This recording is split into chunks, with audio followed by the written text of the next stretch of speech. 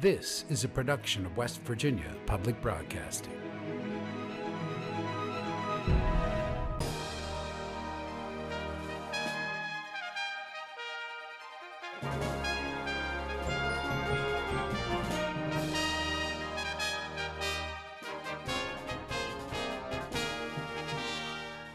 Welcome to the legislature today. I'm Randy Yohe. It is day 29 of this 60 day session. We are almost halfway through.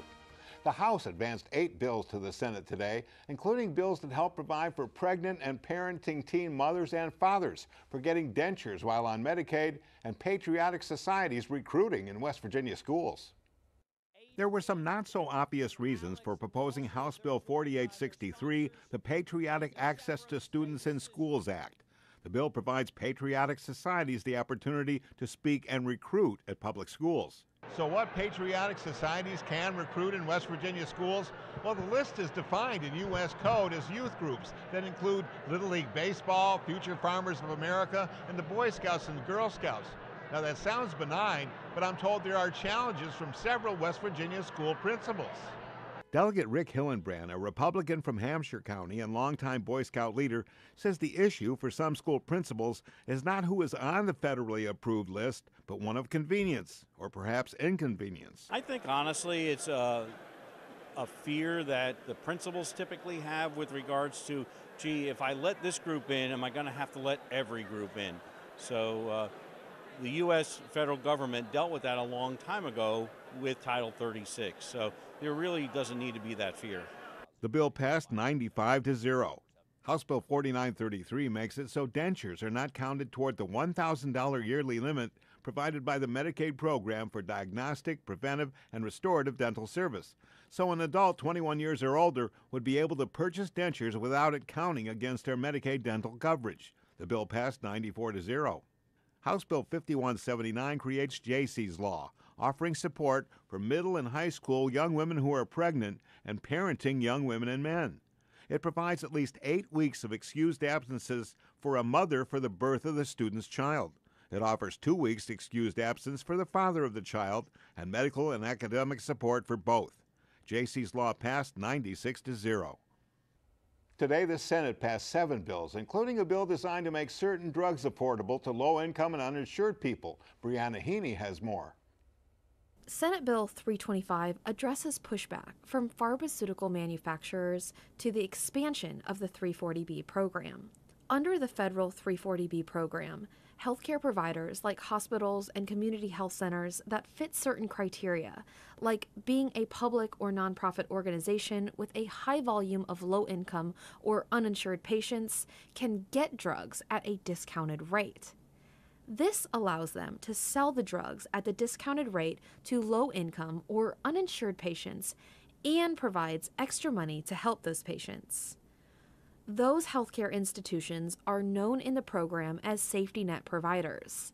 This program is for patients who make too much to qualify for Medicaid, but not enough to be able to afford often expensive prescriptions pharmacies are able to participate in the 340B program by way of being contract pharmacies of the safety net providers. This is especially important in rural areas where some of those safety net providers are hours away. In 2020, manufacturers started implementing restrictions on contract pharmacies. For example, if a safety net provider ordered insulin for its contract pharmacies, sometimes drug manufacturers would refuse to send the insulin to rural pharmacies. Senate Bill 325 seeks to change that by forcing them to ship to rural contract pharmacies or to impose a $50,000 fine per order for failing to do so. Senator Charles Trump, a Republican from Morgan County, explained the bill on the Senate floor. The gravamen of this bill is that it prohibits manufacturers of drugs from trying to restrict their availability uh, to contract entities under the 340B program. The 340B program is a federal program enacted by the Congress, and it was designed to make available uh, at low cost uh, important life saving drugs to people and it is uh, critically important in a state, a rural state, sparsely populated state like West Virginia. Senate Majority Leader Tom Takubo, a Republican from Kanawha County, says the bill will help thousands of rural West Virginians who need affordable prescriptions. The people that, that um, uh, are the most in need are on Medicaid, they can get their medications. What, what this program really does is helps those that are trying to climb out of, of poverty. They're, um, they don't qualify for Medicaid, uh, and they're trying to afford their medicines, and they got real health problems, and we're trying to help those. And we have done that for 20, 30 years. And then about a year or so ago, uh, Pharma decided, well, uh, we haven't made enough profit, so what we're going to do is we're going to strict. They never argued that these patients don't qualify for a federal program that's been around for 30 years. The only thing they did is said, you've got to drive 60, 90 miles to go get it. We know that the federal program allows you to get your much needed medicines to literally keep you alive. These are sometimes cancer therapies and blood pressure and diabetes. All this, all they did last year was said, we're going to restrict your ability to have access where you live. And so as long as you can drive 60, 90 miles, uh, you, you, you still qualify. All we're doing is standing up for our people in West Virginia to say, no, that is not the intent of the bill, and return that back to the, the small towns and cities and local pharmacies where people can get access. I can tell you, oftentimes patients don't have the gas money to hardly drive across town. Uh, it breaks my heart when, when, when people literally have set hours to catch a bus just to get across town to get to their appointment. They certainly don't have the ability to sometimes jump in a car and drive 60, 90 miles to a major hospital facility to get their, their monthly medications. Takubo says this is part of a slew of bills addressing big pharma. For West Virginia Public Broadcasting, I'm Brianna Heaney in Charleston. Today was Black Policy Day at the Capitol, where advocates gathered to talk about legislation affecting people of color in the Mountain State. Brianna Heaney has that story. Attendees formed a circle around the rotunda and sang together to start the day.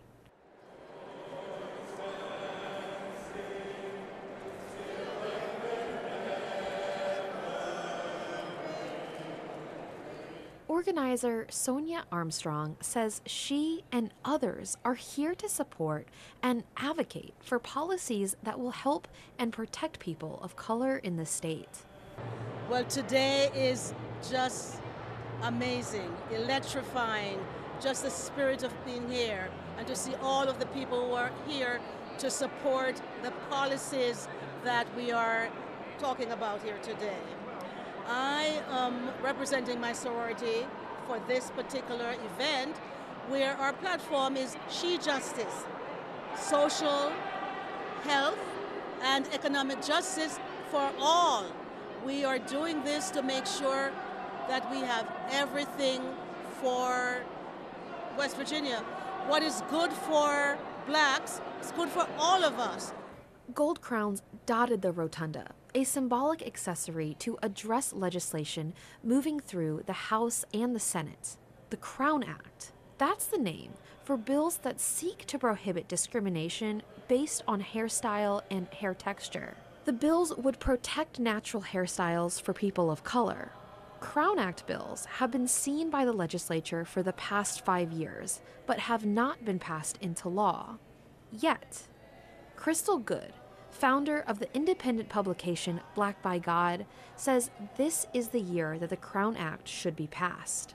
We're seeing some momentum again, as we always do every year, but that's a really important bill. Samaya Price says action taken by an employer based on someone's natural hair type is a form of racial discrimination. And I feel like it should be passed like immediately because I don't feel like we should be judged or not allowed to do certain stuff because of our hair, especially when it's part of our history. Good is also advocating for doula legislation that she says would help combat maternal death for women of color in the state. Just so that folks know, you know, black babies are dying at a greater rate of white babies in West Virginia, and white babies are dying at a greater rate across the country. We have a crisis here. We need to talk about it. Uh, we need to do something about it. Many young people attended the event, and Armstrong says she hopes that everyone in attendance, especially the young people that visited the Capitol today, remember to use their constitutional right to vote. We have got to vote because these are the legislators that we put into place who are going to pass these laws. So we must come out and vote when it's time and talk to our legislator and talk to our neighbors. For West Virginia Public Broadcasting, I'm Brianna Heaney in Charleston. The House of Delegates passed a bill this week that would restrict how data from community air monitors can be used. The state's industry and mining trade groups supported House Bill 5018, while community and environmental groups opposed it. Curtis Tate spoke with Delegate Evan Hansen, a Monongalia County Democrat, and Lucia Valentine from the West Virginia Environmental Council about this legislation. There was a, a lot of debate uh, this week about uh, House Bill 5018. There was a public hearing about it uh, last week. The bill actually did pass the House of Delegates, uh, but Delegate Hansen, uh, you were one of the no votes. Uh, can you tell us why? I have some significant concerns about this bill. It's related to community air monitoring, which is the type of monitoring that people and organizations are starting to do across the state at their homes or in their communities. And the bill specifically forbids the use of community air monitoring data by the Department of Environmental Protection, and it also forbids the use in court. And I think we should be embracing that data, we should be using that data, and giving it the weight that it deserves. If it's good data, let's use it. If it's not good, then let's not use it. Uh, Lucia, how is community air monitoring data currently used? Is that something that the Department of Environmental Protection uses for regulatory uh, purposes? Yeah, so 5018 says that community air monitoring data cannot be used for regulatory purposes under Section 110 and 319 of the Clean Air Act. Um, and that data currently is not being used for regulatory purposes by DEP. And so, um, you know, we agree. We think that this data should be vetted and verified and corroborated, um, but it's not currently being used for regulatory purposes. So. Uh, but it is used in some cases uh, in lawsuits. Well, um, so this under Section G, this bill um, wants to change that so that um, verified embedded community air monitoring data cannot be used as evidence in court. And so, kind of like what uh, Delegate Hansen was talking about, we have concerns about legislating what data can and cannot be used as evidence in court. Um, we have a judicial system set up in place for that, uh, and we think that it should be left to the experts, the courts, and the um, uh, the agencies to determine what data is available and appropriate to use. We heard last week in the public hearing that the Department of Environmental Protection only has 18 of its own air monitors statewide, you know, the 55 counties in West Virginia. That, that doesn't seem like a whole lot. So how does, how does community air monitoring help fill in those gaps? That's one reason why community air monitoring is so important. There's just a few air monitoring stations that the Department of Environmental Protection has across the state, nowhere near one per county. And the other air monitoring data is done by the facilities with the smokestacks. And they test the air at the smokestack and at the fence line, but there's no testing out in the communities where people live, where people actually breathe the air. So if we're concerned about whether air pollution is actually reaching the people and causing harm like asthma or something like that, we need to know whether there's high or low levels of pollution where people are actually breathing the air. So it's really important to have this data. It adds to the data that is already being collected. But going back to something you just said, uh, industries themselves have their own monitors and their own data, and they can use it in ways that that that. Uh, uh, citizens would not be able to use their data under this bill. Is that correct? That's one thing that's, in my opinion, just unconscionable about this bill. It's saying that if you're in court, the corporation, the company could introduce their data and use it in court to defend themselves, but the plaintiffs, like a person or a community group, is forbidden from introducing their data in court. And that's tipping the scales of justice. That would be like having a divorce case in the legislature saying husbands are allowed to introduce evidence, but wives are not allowed to introduce evidence. Or that would be like having a criminal case where you say that the police can introduce evidence, but the perpetrator can't. It's fundamentally unfair. Courts already have a process in place to challenge the data that's suggested to be introduced, uh, to verify it, and for a judge to make a decision whether it remains in court or not. if the if the court finds it's junk data, he'll throw it out of court and it won't be used. But if it's reliable, he'll allow it in. Some of your colleagues, I think, uh, uh, question whether um, this actually takes power away from judges and courts uh, to use whatever uh, data they they consider. Well, you know, whatever data they, they, they seem appropriate. Is that maybe the basis for a, a potential legal challenge to uh, this uh, if it becomes law? I think it is the basis of a legal challenge because the, we have separation of powers, and the court system makes determinations about evidence. They set the rules of evidence. It's not up to the legislature to set the rules of evidence, and that's what this bill does. And Lucia, it, should should there be a legal challenge to this uh, if it if it gets to that point? Um, would it be your organization uh, uh, uh, uh doing the challenging, or who would who, who would would bring that court challenge? Yeah, I mean, I think um, West Virginia Environmental Council and our member groups are going to continue to flag the judicial concerns with this bill, especially as it's headed over to the Senate. So um, that's kind of where our efforts are lying right now, is to continue to raise these uh, these concerns. And, and, Delegate Hansen, I think you said that uh, that this is coming from from outside West Virginia. It's not necessarily something that that um, originated within within the state. Can you talk a little bit more about that? I haven't heard specific manufacturing facilities uh, speak up in favor of this bill. Um, I just get the sense that this is coming from outside, and uh, there's there's concern among certain organizations that there's more and more community air monitoring that's being done. There's some federal funding that's being provided to community groups. And the reason they're doing that is that there's concern that certain communities have borne the brunt of pollution over many years. And one way to address that is to have data to understand whether or not the air is clean or dirty. And so I think there's a concerted effort that's starting to come out now. We're seeing it in West Virginia first to push back on that data and to make sure it's not considered. Yeah, and to that point, this bill really sends the wrong message to those who are living in communities uh, that have a higher burden of air pollution, those who have been fighting for um, clean air in their communities. Again, this, this data helps represent pollution levels where people live in their neighborhoods, and we should be caring about that um, and making that data accessible um, and, and verified.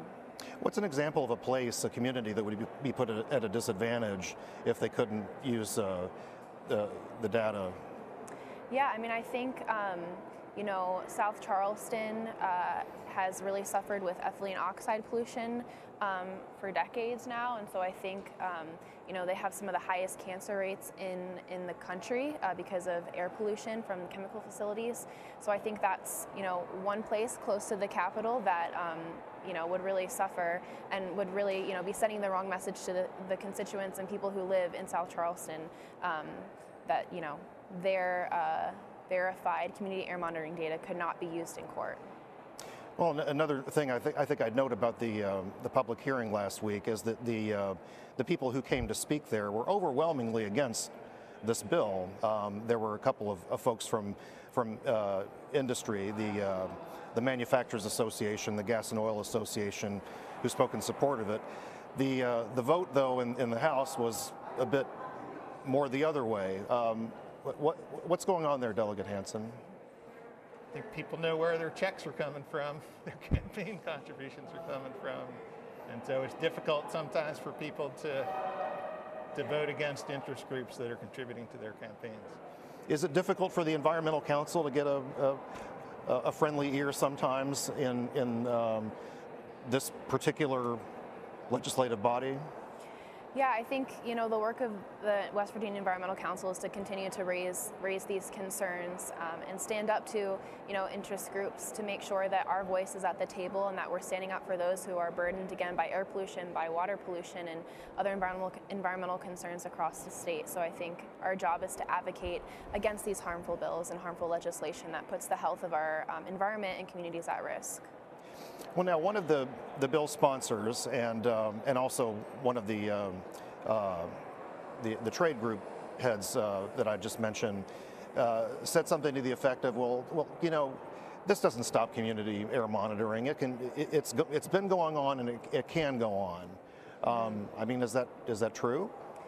I mean, I think overall it sends the wrong message, and our main concern again is that this verified community air monitoring data cannot be used as evidence. We don't think that that should be legislated. Um, and again, the data that's collected by community air monitoring is already not being used for regulatory purpose, so we don't see a need to even legislate that part um, either. So um, those are our main concerns. And they, they want credit for not outlawing community air monitoring. I mean, come on. Right. This, everybody has the right to do whatever type of environmental monitoring they want to do in their communities, and they don't deserve any credit for not making that illegal. That's just ridiculous. Can, can you know either of you maybe maybe just kind of explain a little bit briefly about how these monitors work? I mean, what are how do you get one, and and and what what does it do? What does it tell you? Well, they're, they're readily available. There's different vendors that sell them. You could buy them online. They might mm-hmm. cost a few hundred dollars and you follow the instructions and hook them up and they um, communicate over the internet. And so there, there's a network of these monitors that you could look up online and see how good or bad the air quality is um, anywhere where they're set up. And a good example of that was last year with the Canadian wildfires, where I know I was looking at these maps because up in Morgantown, you just look out the window and it was very smoky. And they, they were very helpful because they allowed us to see where the plumes of the smoke were and to make some predictions about how um, healthy or unhealthy the air was then and might be a few hours later. Uh, are, are, they are they all calibrated similarly? I mean, is there is there any concern maybe about quality control here with with these devices?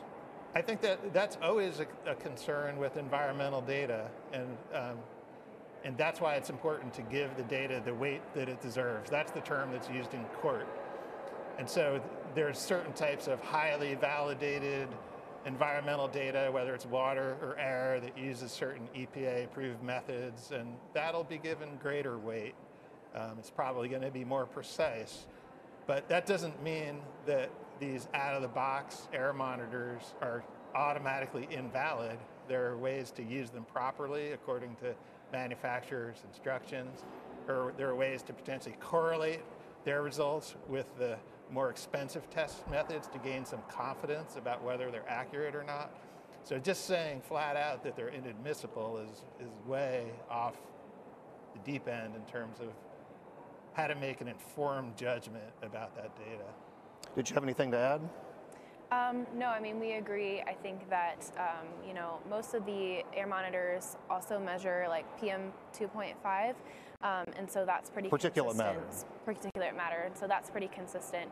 Um, and like you said, there's different uh, weights for different kinds of data, and we just think that the the um, agencies and experts should have full authority to, to vet and determine what data is, um, you know, appropriate. Well, in the remaining time I, that we have, a couple of minutes, um, uh, I'd like for you to talk about uh, a couple of solar bills that have been introduced that you are, in fact, for, I, I believe. Uh, Delegate Hansen? Yeah, one of the things that's been challenging in West Virginia over the last decade or so is that our electric bills have gone up and up faster than any other state in the country. And one reason for that is that we don't have a diverse electricity supply. And so there are some bills to open that up. One of them is the community solar bill, and that allows people to buy essentially a subscription to a portion of a solar project, and uh, they would save money immediately on their electric bills. And that's one. The second bill is, is related to net metering, and that's what is done when you install solar on your rooftop now. If you generate more electricity than you use, you get credit for that electricity from the utility. And the utility wants to reduce the amount of credit that they give to homeowners and business owners. And we want to protect the current system, keep things the way they are, and allow people and businesses to be compensated fairly for the electricity that they put back into the grid from their solar panels. Um, Lucia, with about a minute or so left, uh, can you can you tell us about where your organization is on on these uh, solar bills? Yes, certainly. The West Virginia Environmental Council's um, in support and favor of both the community solar bills that have been introduced this year and the net metering bill that was just introduced in the House. Um, like Delegate Hansen said, you know, we have some of the highest utility costs in the electricity costs, excuse me, in the country, and so we really see that community solar as a way um, for uh, West Virginians to lower their utility bills um, and have access to you know affordable energy. Um, community solar would allow people who rent their homes or have shaded roofs or can't afford the cost of uh, installing up, uh, rooftop solar up front to have access to this type of energy. So it's really important that we are creating jobs um, and creating opportunities for people to access affordable energy across West Virginia. Well, uh, Lucia Valentine, Delegate Evan Hansen, thank you both for joining us today. Thank you so Thank you. much. Thank you for spending this time with us. Catch the legislature today, Monday through Friday at 6 p.m. And remember, West Virginia Public Broadcasting covers the session daily in our radio news program, West Virginia Morning, and on our news site at wvpublic.org. We also broadcast the daily floor sessions of both the House and Senate on the West Virginia channel. I'm Randy Yohe from everyone here at WVPB. Thanks for joining us and have a great evening.